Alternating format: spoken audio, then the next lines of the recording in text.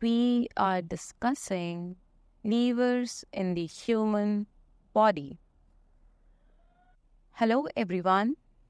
Let's see how the human body uses physics to increase its efficiency and to reduce the muscular effort.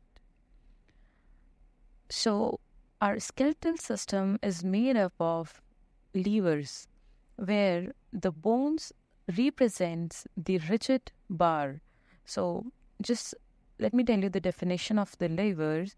A lever is a rigid bar which is capable of movement about a fixed point. So the bones in the skeletal system represents the rigid bar. So this is a little muscle that is attached from one bone to the other. Now the joints in the human body represents the fulcrum, that is the fixed point. The muscles contracts to produce the effort. And the load can be anything the, the weight of the part which is to be moved or the gravity or any external weight. Now there are classes or types of levers.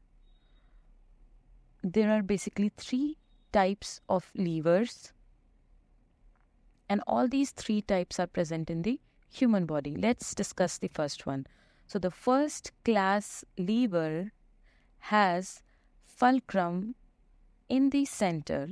Fulcrum is always located in between the effort and the load. This class, this first class lever is known as lever of stability as you can achieve equilibrium in this type of lever. Now, let's understand this by using an ex- with the help of an example. Let's imagine we have a basketball player whose name is Z and he's about to score a point and looking at the basket. So he's extending his neck while his neck posterior neck muscles are contracting for the neck extension.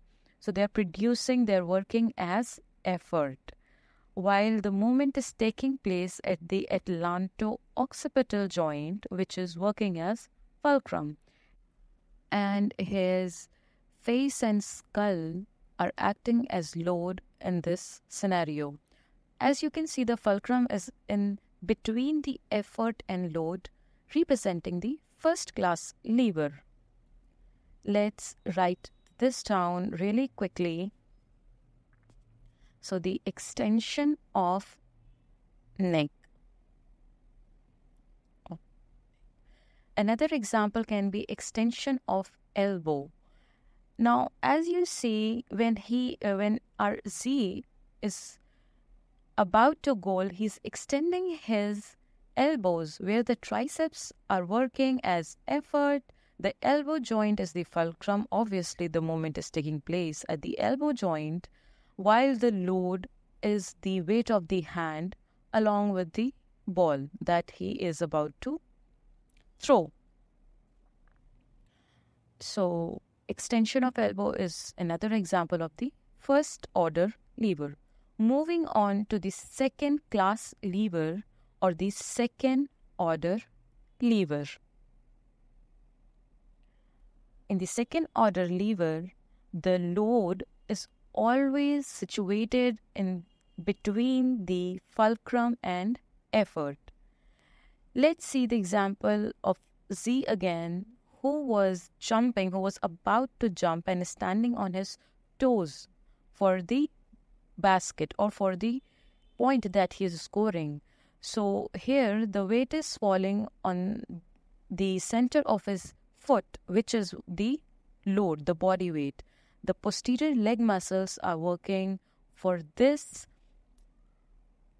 movement and are working as effort while the toes are working as fulcrum. The load is in the center representing the second class lever.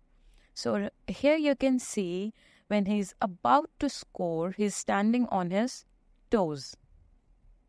All right, so this is an, the example of second order lever. Another example can be push ups.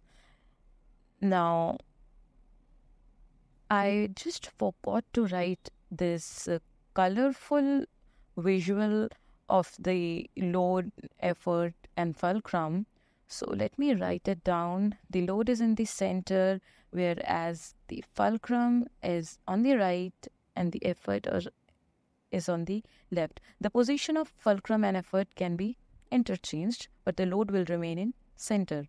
Now, as we talked about push ups, now Z is very particular in his exercises and keeping himself fit. So he is working out for his arms and shoulder muscles.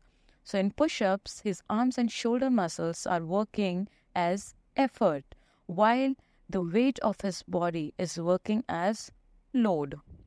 And the movement is taking place at the foot. So the foot are working as fulcrum. Moving to the third class lever. I hope the above two levers are clear. Now, in this type of lever, the effort is always in the center of fulcrum and load. This class, the second class lever, is known as lever of power while the third order lever is known as lever of velocity. So as you can see, the effort is in the center of fulcrum and load. Let's understand this with the picture at the right bottom.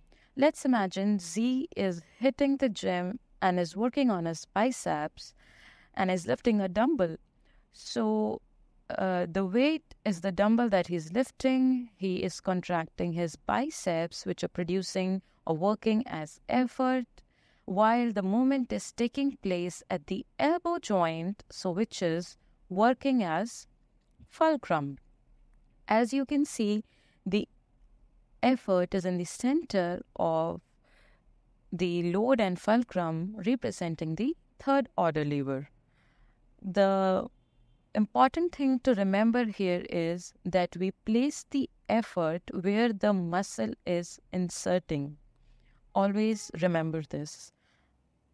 Now, let's write this down. Flexion of elbow joint is another example of third order lever. Extension of knee joint. Let's imagine Z has a brother who is a very good football player and he is about to score a goal and is about to kick the ball. So while he's extending his knees, the foot, the weight of the foot is working as load, while his quadriceps are working to bring about the knee extension and are working as effort, while the movement is taking place at the knee joint, representing the fulcrum. And because the quadriceps are attached at the tibia, so they lie in between the knee joint and the foot.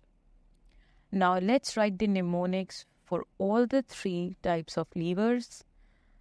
So the first have the fulcrum in center, the first order, the second have the load in the center, that is L, and the third has the effort in the center, which is the third. So FLEE is the mnemonics.